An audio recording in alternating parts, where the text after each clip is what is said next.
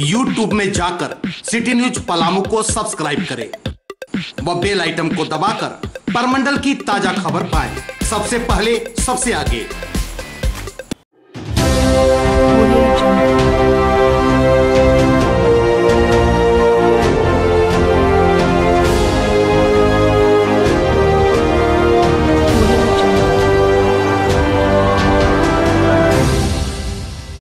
चंदवा थाना क्षेत्र के सिविरो मोड़ के पास अज्ञात वाहन की चपेट में आने से बाइक सवार पिता पुत्र बुरी तरह घायल हो गए।